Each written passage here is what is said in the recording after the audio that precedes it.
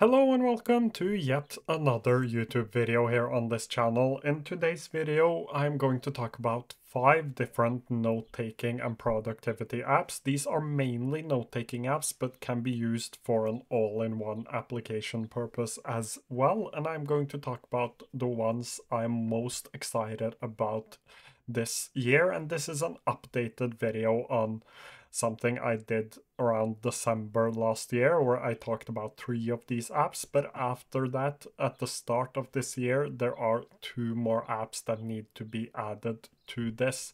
And the first app I'm going to talk about is actually called Affine or Affine. Still haven't figured that out.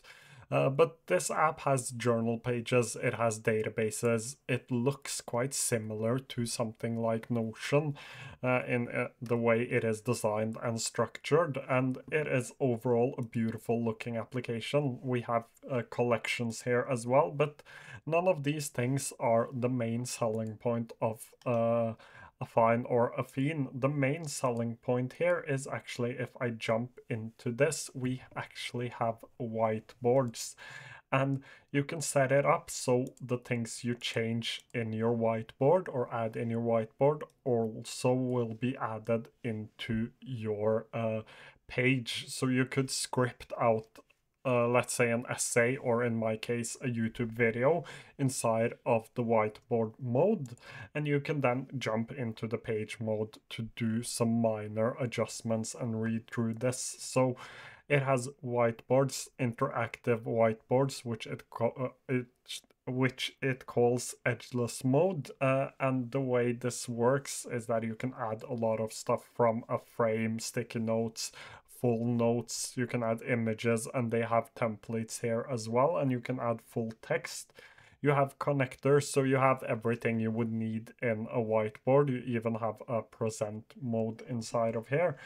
And when you add things or remove things or uh, uh, fix things inside of here, they actually change inside of this app as well and we have backlinks in this app as well. I actually think all of the apps i'm covering today have backlinking abilities but not all of them have table and kanban views. So i'm really excited about this application. It is still really really early days and there are some things i would like to see like uh, linked views of databases. That is something I would really like to see.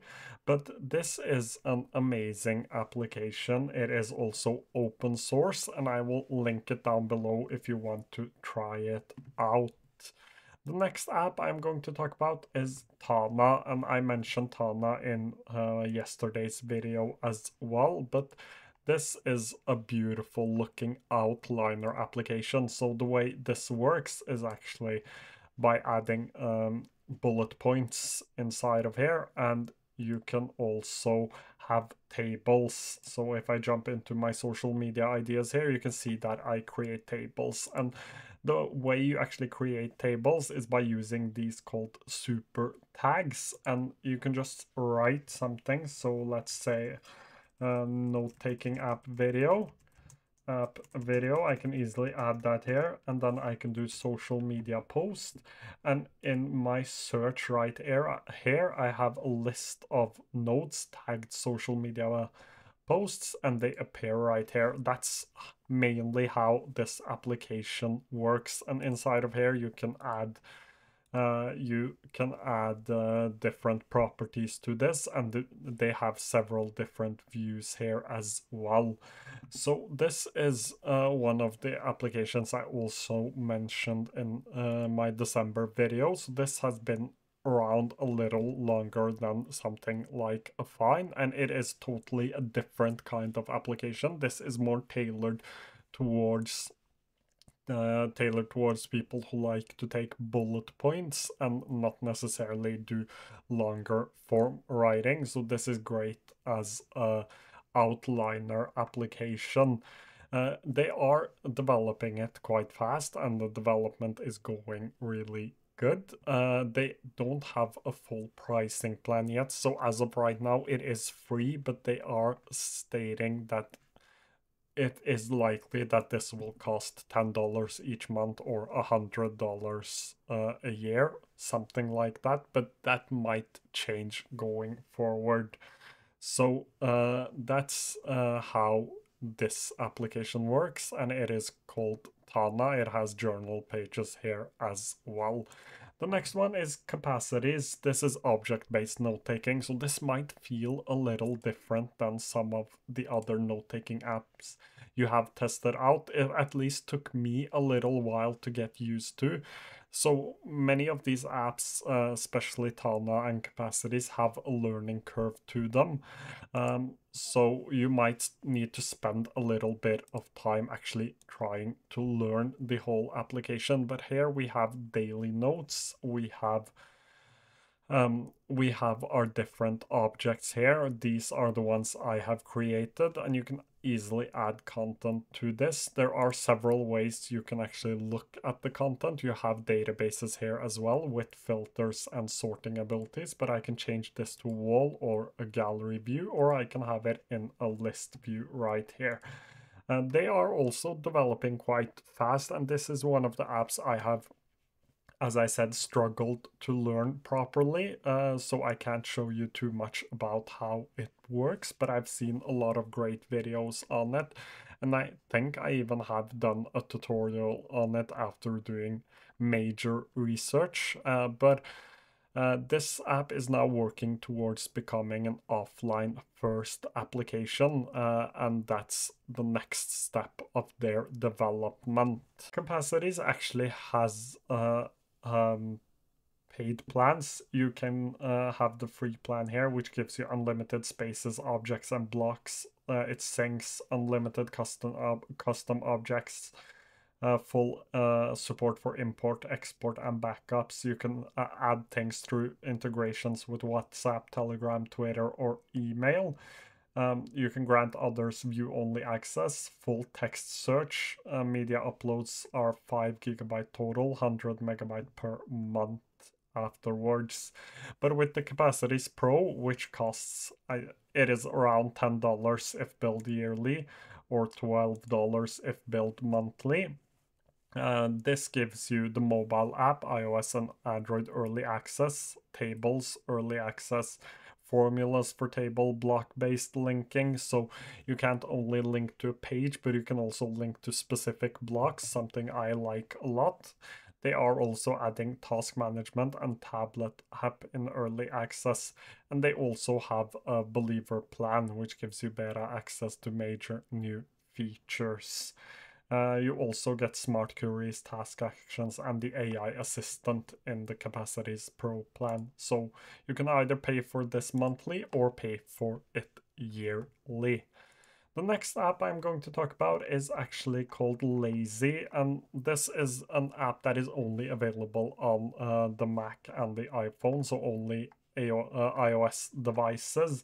But I like this because this excels at capturing, so it is really easy to capture with this application. And they even have a Kindle integration, so it syncs all of your Kindle highlights. This is basically, in my eyes, something like Readwise, except that it is a note-taking app. So it has more features than something right like Readwise, but it does the capturing as good as Readwise and their uh, app Reader does. That's how I would like to describe this. Uh, there are a couple of problems with this, and I've seen a lot of comments mentioning this, and it took a long while for me as well to get the invite to the actual app because it is on invite only right now, and it seems like it is going really slow. I am not sure actually how long I had to wait because I signed up and it took so long that I totally forgot that I signed up. So I'm not sure how long it actually took for me, but it seems like it is taking a long time. But the app is really good once you get into it. I uh, completely understand that they are uh, spending time getting invites out because there are still a few bugs I've experienced in the app and they have a pricing plan. I am I'm not sure how it looks because you can't actually um, see the pricing plan on their website, but if I remember correctly, it I paid $10 each month for three months, so I paid $30, something like that, uh, around that price range. But overall, uh, this is one I am really excited about because if they are able to nail this, this can become one of the uh, best note-taking apps out there. Actually, all of these can, but this one is a little different because it is so much better than capturing than all of the other uh, apps out there and it is really fast to use as well and to organize inside of it. I have done videos on this app which I will link up here somewhere so you can check it out for yourself.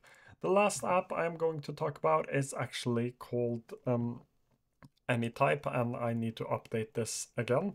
Uh, but Anytype just recently released their multiplayer mode, which is their collaborative mode inside of this. So you can now collaborate in this application. Again, I've done a few videos on this as well, so I won't go too in depth into it. But this is a really beautifully designed application. It is local So all of your files are stored locally on your device. So it is uh, you will have access to all of your markdown files even if the app disappears. We have a lot of uh, new new features here. One of them is the gallery, which makes this a lot easier to use because this, just as any type, is object based, so it takes a little while to get used to. But they are adding quite a few documents in here which you can which you can use um, so uh, it makes it a lot easier to actually get started with the application. This is one of my favorites. I am using this to create myself a shared space, which I will share at some point and do a full tutorial video on, but this is beautifully designed experience, quite similar to Notion because we have the databases here as well with the different views here as well. Uh, so that's one of the main things inside of this app is actually the databases and the linked databases. But uh, probably the most important thing about this is privacy and the fact that all of your notes are private and local. They have a pricing plan here as well because Anytype doesn't just want to be a note taking app and a tool for knowledge management. Anytype actually wants to be uh, uh much larger than that. It wants to be a, a, an OS. That's at least what they are saying uh, in the long run. Right now, it is mainly a knowledge management tool, and with the shared spaces, it now allows for creating communities and being able to share your knowledge. In the long run, it will actually support having I believe it will support having communities on there. But as of right now, it allows you to share uh, your spaces. And they have a builder and a co-creator plan as stated on their website. $99 each year gives you uh, 128 gigabytes of network space, 3 shared spaces, 10 editors per shared space, unlimited viewers per shared space, and priority support.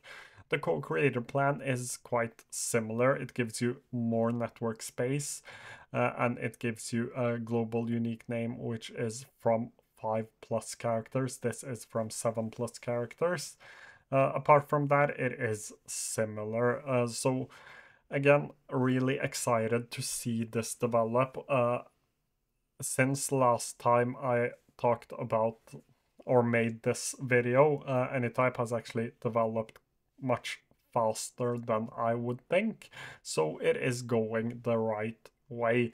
As usual, if you have any questions, feel free to leave them down below and I will try to get to them as soon as I can. I will be traveling for the next couple of days, so it might take a while until I am able to answer, but I will get back to you as soon as I am back home. If you have any questions, again, leave them down below. Hope to see you again quite soon.